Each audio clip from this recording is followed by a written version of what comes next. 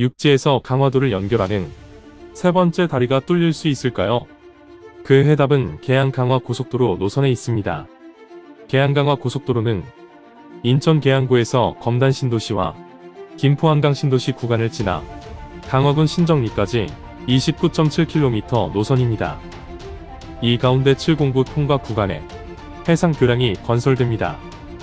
고속도로 시작점인 강화군 신정리에서부터 강화해협을 지나는 신설대교를 거쳐 김포 월곡면 길살리까지 약 4.6km 구간으로 최근 빠른 사업자 선정과 착수를 위해 사업 방식을 시공설계 일괄 입찰 방식인 턴키로 진행하기로 결정했습니다.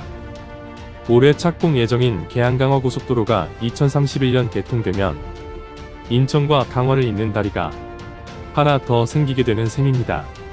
인천 내륙은 물론 경기도와 서울에서의 접근성 개선도 기대됩니다.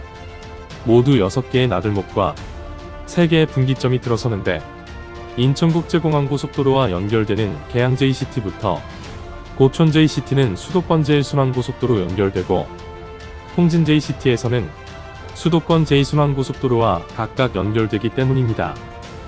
특히 이 도로가 뚫리면 강화와 검단, 김포 접근성이 크게 향상됩니다.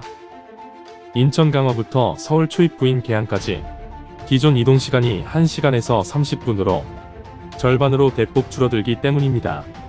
진입로가 두 곳밖에 없어 주말이면 교통정체로 몸살을 앓고 있는 강화도의 교통 편의를 향상시켜 줄 계양강화 고속도로 강화를 연결하는 세 번째 해상대교 건설과 함께 2기 신도시를 지나는 고속도로 건설로 수도권 서북부 교통 개선을 기대합니다.